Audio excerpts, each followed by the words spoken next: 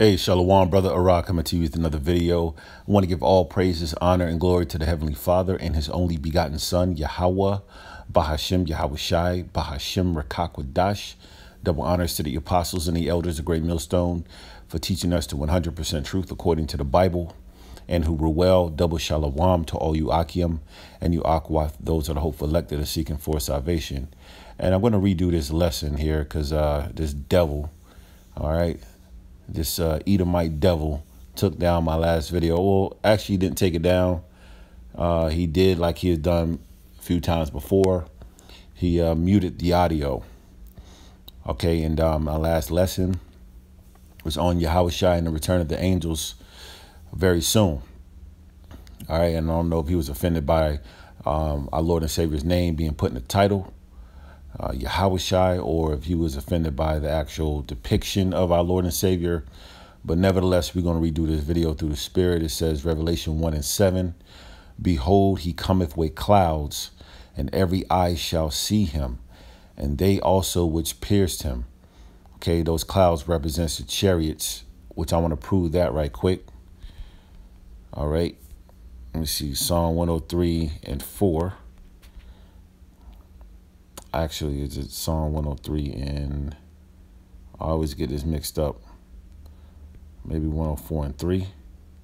That's it. The Wadi Al Shai says Psalm 104 and 3. Who layeth the beams of his chamber in the waters? Who maketh the clouds his chariots? Who walketh upon the wings of the wind? So, just to prove the point that those clouds is referring to the chariot, which who this world ignorantly call UFOs. So what you're going to see very soon, as we see the uh, all the end time prophecies playing out, you even got, you know, major uh, World War III tensions increasing. You got the push for the MOTB. Okay, the tests being done with the uh, the monkeys, the um, Neuralink was reported about eight monkeys died from that that test. Okay, but all these things are happening and this results to what the glorification of Yahweh by Shem Yahweh Shai, Yahweh Shai soon to come once these prophecies are fulfilled. Okay, and they're scared, man. These Edomites are scared. The elites are scared.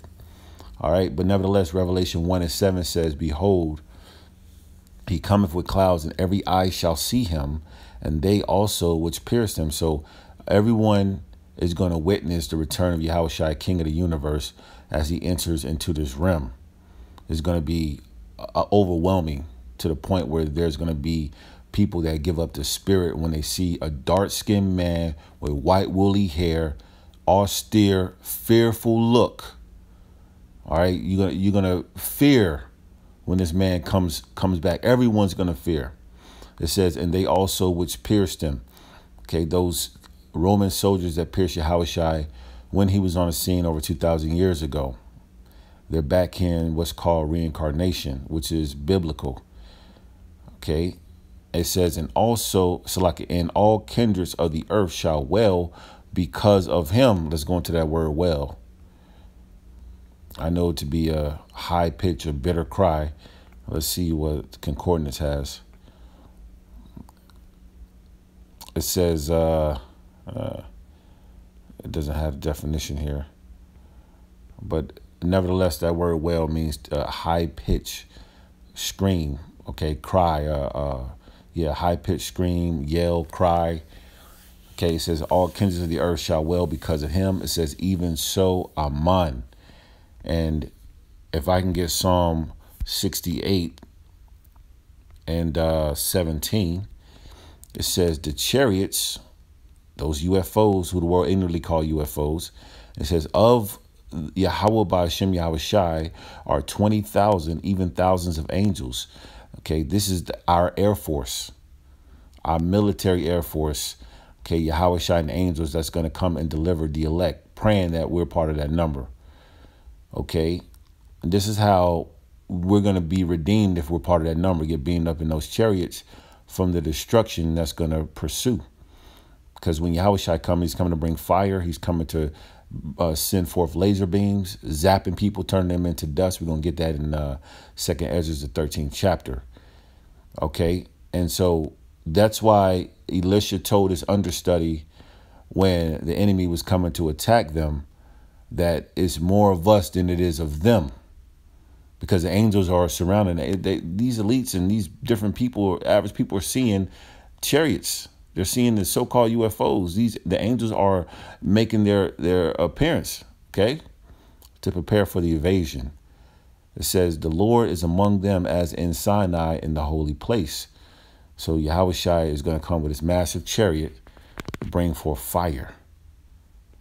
Okay, and what does fire do? Burn, man. It's going to be a lot of death and destruction when the Lord comes. Okay, right before those nuclear missiles hit uh, Babylon the Great, aka America. Now, Second Ezra 13 and 3 says, And I beheld, and lo, that man waxed strong with the thousands of heaven. We just read the angels of the Lord, 20,000. Okay, those uh, the, the angels in the chariots. All right. It says, And when he turned his countenance to look, all the things trembled that were seen under him. That that austere look, man. Everyone's gonna be afraid when the Lord comes back. Verse 4 says, And whensoever the voice went out of his mouth, all they burned that heard his voice, like as the earth felleth when it filleth the fire. So he's coming to bring forth fire, right?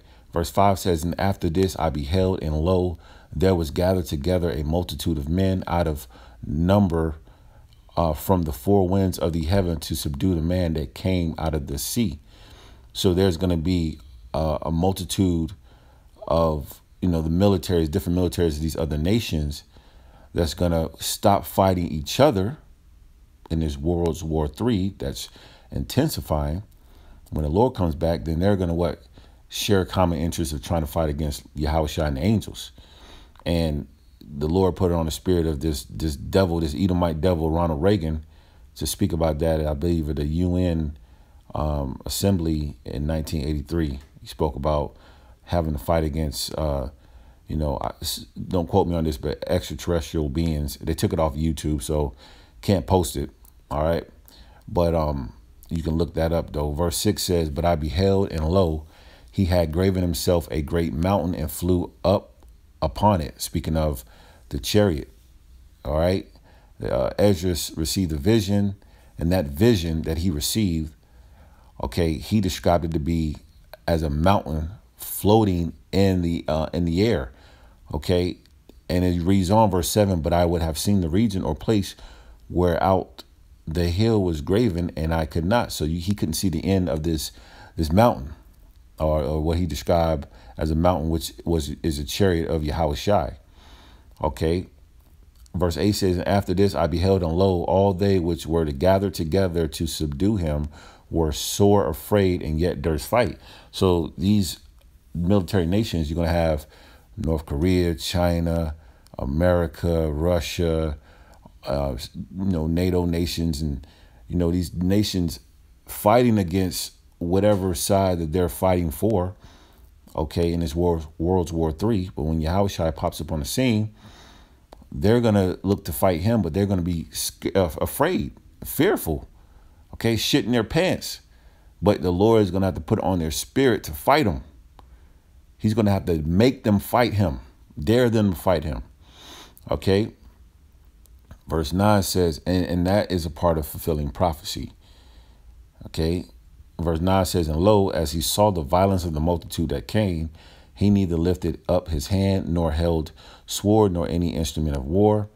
Okay, verse 10 says, But only I saw that he sent out of his mouth as it had been a blast of fire, and out of his lip a flaming breath, and out of his tongue he cast out sparks and tempests. So, you know, he's coming with the whirlwind, Yahweh Shai and the angels. He's going to be sending out fire, blasting fire, laser beams, zapping people turning people into powder dust, as you're going to read here in verse 11.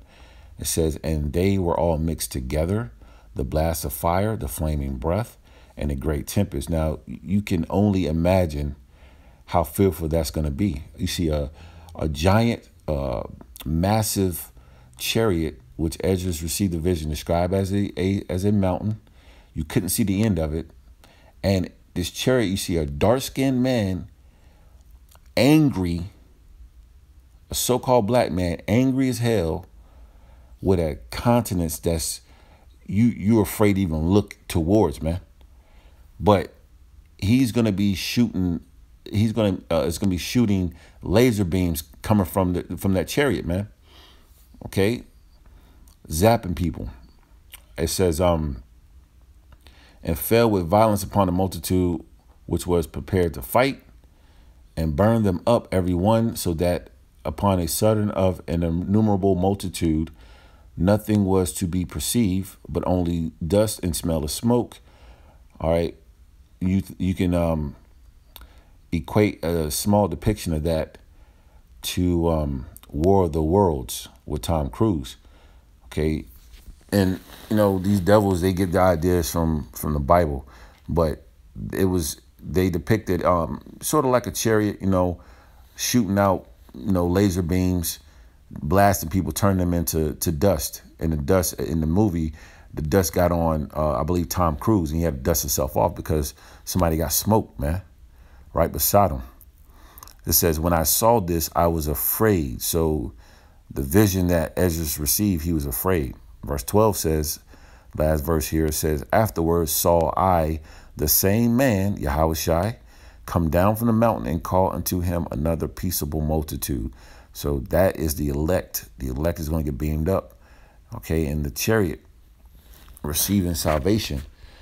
Last scripture here. This is this is why this devil mutes out certain videos that brothers do or taking down lessons, you know, striking, giving strikes and uh, pushing out, um, you know, saying that we're pushing out uh, misinformation and taking down pages because they know what's coming. they know what's coming. Isaiah 66 and 15 says, For behold, the Lord will come with fire and with his chariots like a whirlwind to render his anger with fury and his rebuke with flames of fire. And that that is in line with what Ezra's received. So you got the scripture say where two or three witness, um, where there are two or three witness, let every word be established. Okay, so Isaiah received the vision of the Lord's return. John the Revelator, Ezra. We read Psalm how the angels of the Lord are twenty thousand. Okay, so this is clear that the Lord is putting on the spirit of his servants to, you know, prophesy of these upcoming times that we get ready to experience. Okay. It says, and with his chariots like a whirlwind to render his anger with fury and his rebuke with flames of fire, coming back with fire to bring destruction and death to his enemies, these heathen nations, two thirds of the nation Israel who are disobedient. Verse 16 says, For by fire and by his sword will the Lord plead with all flesh, judge. Okay, it says, And the slain of the Lord shall be many. Okay, a uh, innumerable multitude, man. So, nevertheless, man, um, this is this is why these devils are uh, striking, you know, down pages and you know blocking out information like this because uh, the word is out, man. Yahweh Shai is coming back with the holy angels, man. Repent before it's too late and get, get on the right side of Yahweh Bashem Yahweh Shai. Okay, for you so-called Negroes, Latinos, Native Americans, the children of Israel, get right before it's too late. All praises to Yahweh, Bashem Yahweh Shai. Double honors to the apostles and the elders, great millstone. Shalom.